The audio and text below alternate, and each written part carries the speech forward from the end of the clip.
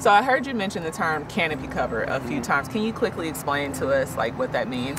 Yeah, so that's like the total area that the trees uh, leaves kind of touch, uh, totaled up across the city. Okay. So the the shade that that all of the trees in the urban area in Kansas City, Missouri, kind of provide for the city. So what is the ideal canopy cover rate for Kansas City? Well, as a tree guy, I would say like as high as we can go. But the city passed its urban forest master plan back in 2020, I believe, Okay. and that set a goal of 35% canopy cover hmm. across the city for Kansas City, Missouri.